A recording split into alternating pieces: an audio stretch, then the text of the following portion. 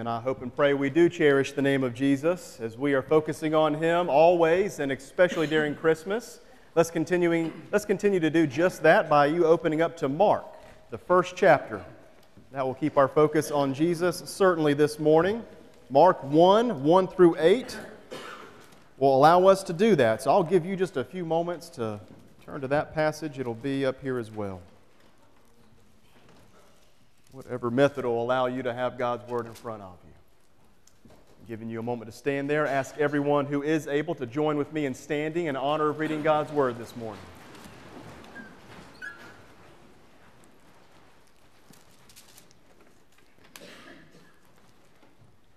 Mark's Gospel starts this way the beginning of the good news, the beginning of the Gospel, about Jesus the Messiah the Son of God, as it is written in Isaiah the prophet I will send my messenger ahead of you who will prepare your way.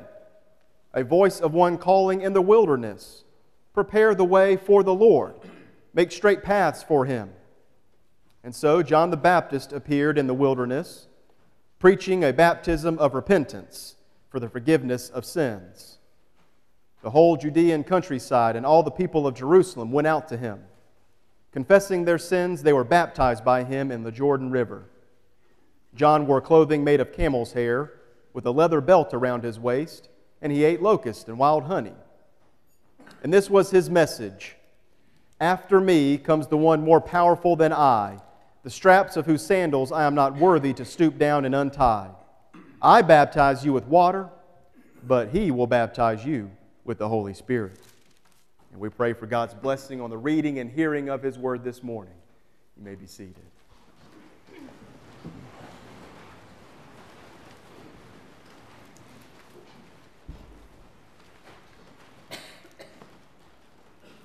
I sat down in my chair next to one of my buddies, and as we were talking, the teacher handed out our textbook for the year. In my pre algebra math class in seventh grade, the teacher handed out the book, and as I, as I was looking through that book and talking to my buddy, halfway paying attention to the teacher, we were hearing our first assignment, which was to cover our books.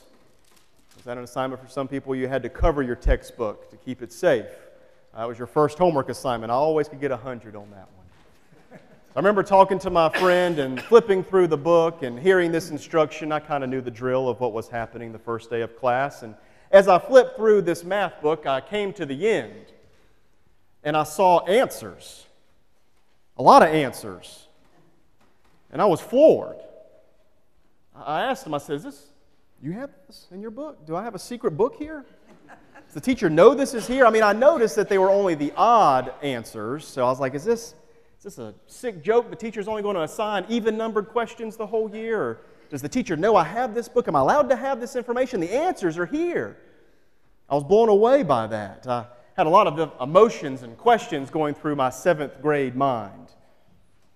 All the answers were right in front of me, and I thought I had found the answers. I was thrilled to think that only having the answers would be what I would need, as if having the answers themselves, by themselves, was going to be enough. I had to learn a hard lesson the first few homework assignments. And speaking of school, you have a homework assignment of sorts to be prayerful about how you're going to engage 2018 with the theme that I've disclosed to you and the entire church body. And now that you have heard what that theme is, biblically based believers, growing the community of believers, you have some, some homework to be praying about that, your involvement within it, because just like the answers in the back of my math book, having the answers, just simply knowing what it's going to be about, isn't going to be worth very much by themselves. Jesus exemplified how process and journey are the way of discipleship, not just having the right answers. Mark emphasized what Jesus did, not just what he said. I like that. There's a lot more emphasis on what Jesus did in Mark's gospel. But before we can place sole emphasis on Jesus, we have to recognize that there is some preparation needed and we're going to do that. Mark is giving account of Jesus Christ, of the good news, of the gospel. He says it plainly, first verse, so I'm glad when it's that straightforward. He's giving account by first reflecting on what was said centuries prior to Jesus being born about preparation and people being prepared for the arrival of the Messiah. And then Mark reflects on how John the Baptist was the fulfillment of that prophecy. And he talks about that. And we need to know that understanding the ministry of Jesus has to begin, like Mark did, with understanding the Old Testament. What Malachi and Isaiah prophesied about applies to Jesus, God's Son. The passages that Mark cites speak of the messenger, the desert, and the Lord, each of which are stressed in these verses that we just read. So we see how preparation was preceding Jesus and how Mark was describing how the preparation was fulfilled in John the Baptist. A little side note, a, little FYI, just to make sure we're all on the same page. John practiced baptizing those who came to him and repented of their sins. And that was the hallmark of his ministry. That's why he became known as John the Baptist or John the Baptizer. That's where his name came from. And let's also remember that baptism is a sign of repentance. It's an outward expression of one repenting. So we need to make sure we know what repentance is, is as well. It's a turning around, a 180 degree turn, deliberately turning from sin to righteousness and confessing one's sins to God Almighty and asking Him to forgive them through Jesus Christ. And in doing so, one has repented and one is also baptized when that is initially done in life to show everyone what has happened within one's life. Everything about John the Baptist is about preparing the way for the Holy One. That's what John the Baptist was about. Everything was about preparing the way for the Messiah, Jesus. It would have been easy for Mark just to jump right in the thick of Jesus' earthly ministry, just to get to the meat of the matter. Listen to what Jesus was saying, listen to what he was doing, but he, he knew that background preparation was needed. You see, readers needed to know that people were anticipating the Messiah. This was not something that Mark had to drum up and say, oh, you remember when this was prophesied about? No, people were anticipating the Messiah. They were ready for a revival of prophecy. And so when they heard this message, when preparation was before them, they were ready for what was to come. We know that celebrating Christmas is about celebrating the birth of Jesus Christ, but we can't jump straight to that. We need to be prepared to encounter Jesus, to celebrate his birth at Christmas. Lamar Williamson says it this way. He says the Gospel of Mark presupposes that the best way to bear witness to the coming kingdom of God and to challenge readers to faithful discipleship is to tell the story of Jesus. And I will add that telling the story of Jesus certainly includes understanding the preparation needed prior to Jesus' arrival. Having the stage set to understand Jesus' earthly ministry is utmost importance to be prepared to encounter Jesus' ministry then and now. Because you cannot casually encounter Jesus. You cannot casually encounter Jesus. This passage of Scripture provides the understanding of how we're to encounter Jesus the Christ. There are three major points of emphasis in this passage. One is expectancy, preparedness. That is a major point of emphasis. Second, repentance. And third, the coming one, being ready for Jesus.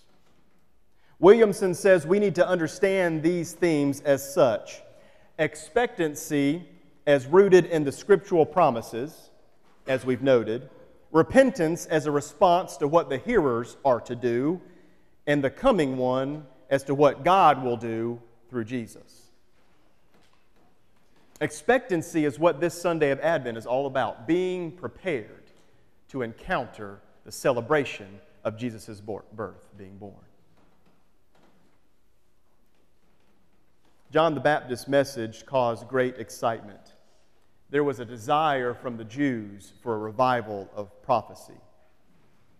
And since the people expected something from God, they received the message because they were prepared for it. I need us to hear that this morning. The people expected something from God, and since they received the and because they received the message, it's because they were prepared for it. They expected the message, they expected to receive something from God, and they received it because they were prepared for it. Does that make sense? I want us to, to bring this home and we can reflect on the transition period. Just a few years ago, as a church, we were reflecting on how Jesus Christ has been at work and asking Him how you will continue to be at work, Jesus. And great excitement was built, and it came upon reflection and preparation. Excitement grew because there was an overwhelming desire for ministry revival to occur. Amen? Is that fair?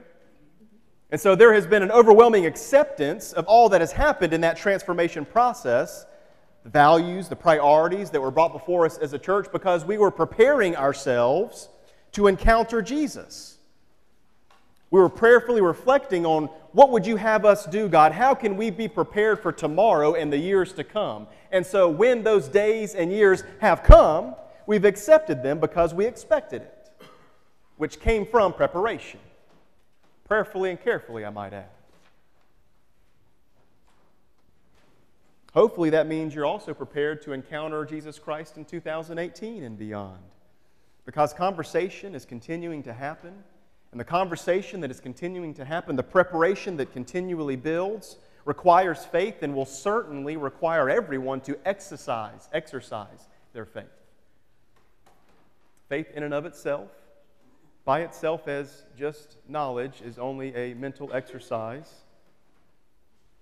Having the answers of how to be prepared in and of themselves aren't worth much. We have to put them into practice. We have to exercise our faith.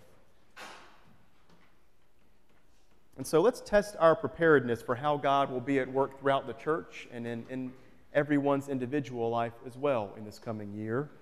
I want to ask you a couple of questions and just have you answer them to yourself. Are you excited for the opportunities that are ahead of us as the church? Or do they cause you stress? When you think about how God is at work, how He has shown us how to be prepared, how to expect His goodness to prevail, and how we are going to encounter Him, and then we do it, and how that is going to continue, does that cause you great excitement or stress? And you need a Tums. Also, are you excited to celebrate Christmas? We have Advent readings, the, the candles, the trees, the decorations, the Christmas parties, all of those things, celebrating Jesus' birth. Are you excited to encounter Jesus as we celebrate his birth? Or do the schedules you have to juggle, the gifts you have to buy, the times you have to clean up the house cloud your ability to expect how to celebrate Jesus' birth this Christmas? The answers to these questions coincide with your answer to this question Are you prepared to continue to experience Jesus in your life? We need to ask this morning Are you prepared to continually encounter Jesus Christ in your life individually and congregationally? we see how Mark pointed back to John the Baptist and said, See how he was the fulfillment of prophecy? The things you were expecting, the way you were prepared for the Messiah, he's the fulfillment of that. So get ready. Jesus is coming. Are you ready? Jesus is coming. December 25th, we're going to celebrate his birth, but far more than just that, we are going to celebrate how he intersects our lives each and every day. Are you ready for that to continue? I remember one Christmas in particular as a child. I can't remember my age, a younger boy, and I was expecting a bicycle for Christmas. Most children, I think, expect a bicycle and enjoy receiving their first bike, maybe even one with training wheels. You, you're ready for that first bicycle, right? So I remember expecting a bicycle. I don't think that was a bad thing. You know, I, I talked about it and kind of got in the cues in the right places that I could expect a, a bicycle. Parents go with me. So I understood that I could probably expect a bicycle, and then there it was, Christmas morning, the bicycle, sitting right in front of the fireplace. Thrilled, ecstatic. There's the bicycle. There's the gift I was expecting. So, guess what I did all day Christmas Day? I rode that thing all day long. As soon as I was allowed to go outside until I got called in, I was riding that bicycle as long as I could. Because, I mean, how silly would it have been to have expected a bicycle, received the gift, and then not do anything with it? That would have been a huge disappointment to my parents and really just been silly overall. I mean, I expected the bicycle, and there it sits. I received that gift that I expected. And then what if I just said, nah, never mind? It wouldn't make any sense. Preparation and expectancy go hand in hand with response, which in our case as disciples is repentance continually.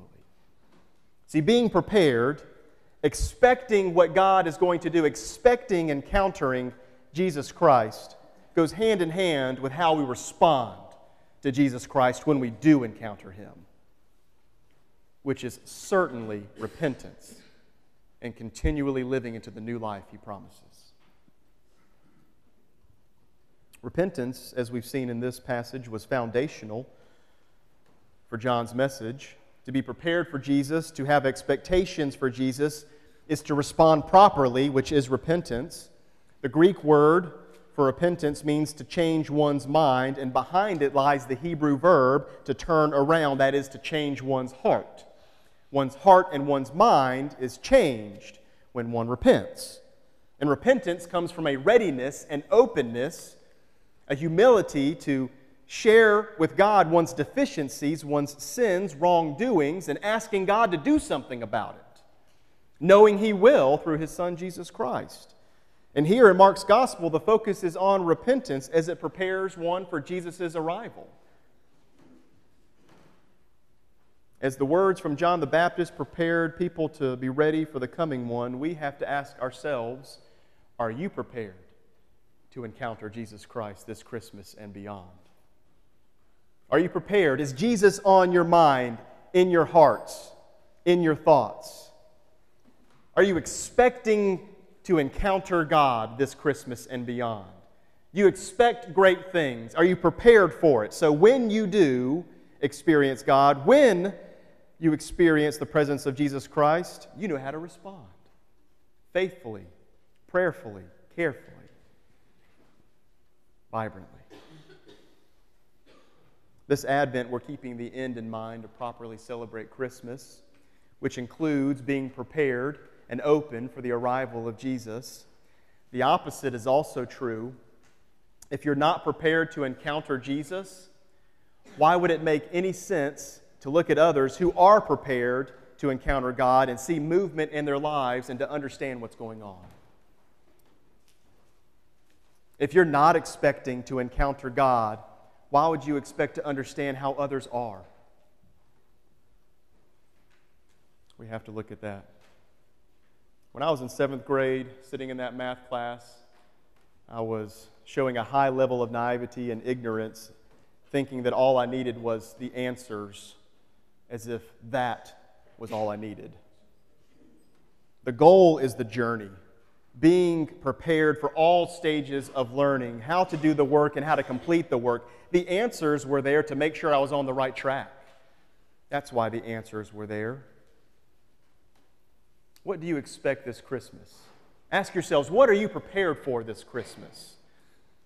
Are you just worried about how you can prepare the, the food that you brought for lunch? Are you worried about how you're going to prepare your house this week for a guest? Are you worried about how you're going to juggle the work schedule you have leading up to Christmas? Are you are you focused on everything but Jesus and how you're going to be prepared to sit still in His presence and encounter Him and be changed by it? Because you cannot casually encounter the presence of Jesus Christ. You cannot casually celebrate the birth of Jesus and the new life He gives to those who follow Him.